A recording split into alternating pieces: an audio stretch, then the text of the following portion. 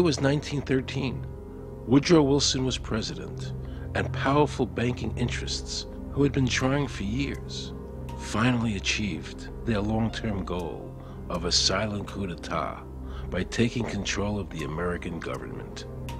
The first thing they did to accomplish their takeover was convince Secretary of State Philander Knox to lie to the American people and tell them that the 16th Amendment, the Income Tax Amendment, had been legally ratified by the states when it was not. The bankers knew that this tax would ultimately end up in their pockets. Because of this fraud, the American people were led to believe there was now a tax on their labor. Congress and the President are completely aware of this fraud, and it was even cited in a recent court case.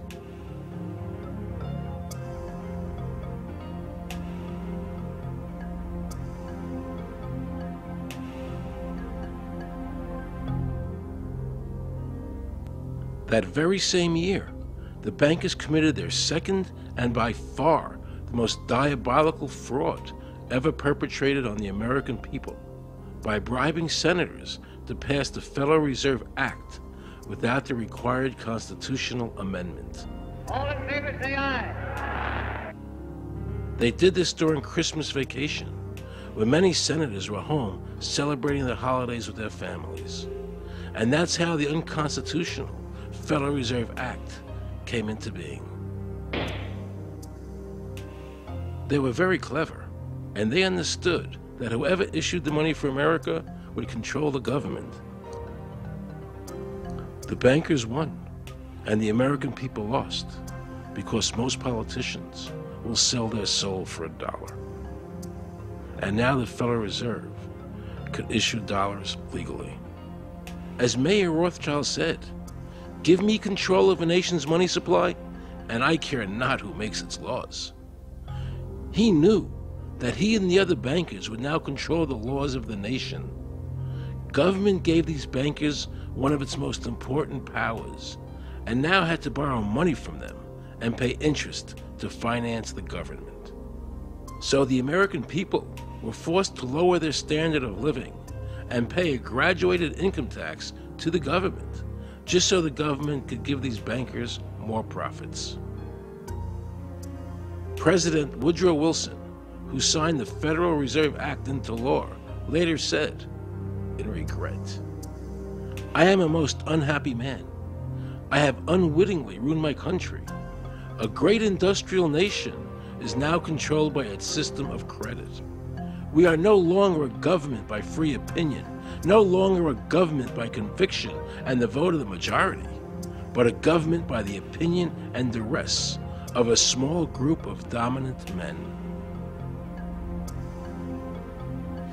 The Federal Reserve was created by Congress in 1913, and it was entrusted with the power granted originally to the Congress by the U.S. Constitution to coin money and regulate the value thereof.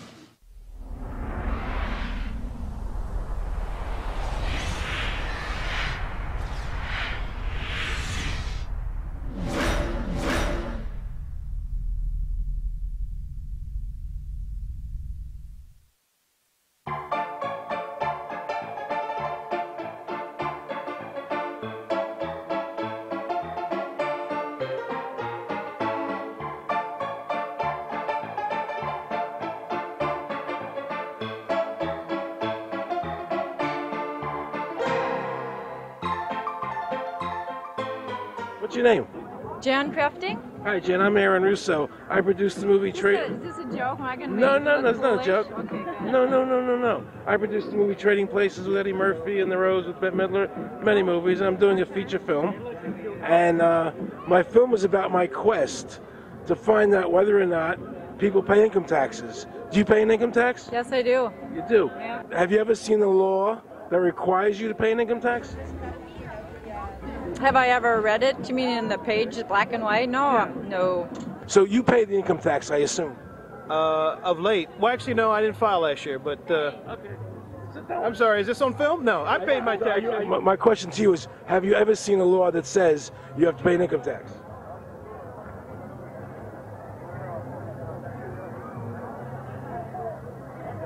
Law is that guy that carry, wears that badge and a gun. That's the one that puts you in jail. That's the law. Actually, I can't stand the IRS.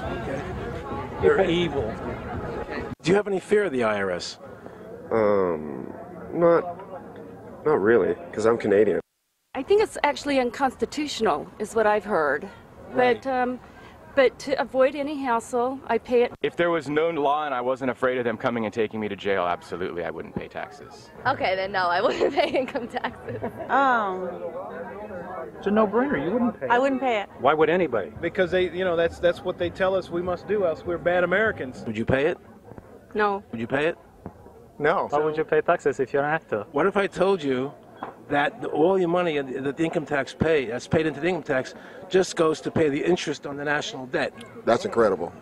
That's Yeah. truly incredible. I thought it was for infrastructure and all the other stuff. The income tax is not legal because it would be a direct tax and it is not apportioned as the Constitution demands. If it's against the Constitution, then why are we doing it?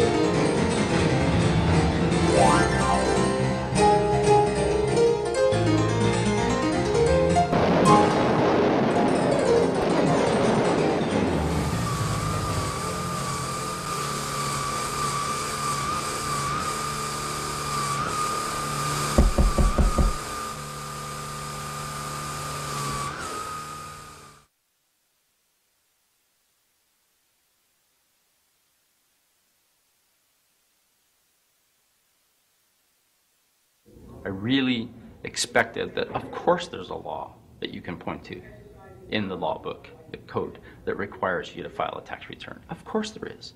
Uh, maybe I don't know what it is right then as we as he was speaking to me, but sure. So naively, I agreed to go off and research it and get back to him. Three and a half months later, I was at that point where I couldn't find the statute that clearly made a person liable, uh, at least not me and uh, most people I know and I had no no choice in my mind except to to resign. I had to leave the IRS because I presented uh, evidence that I had accumulated indicating that the agency was violating the law and violating people's rights.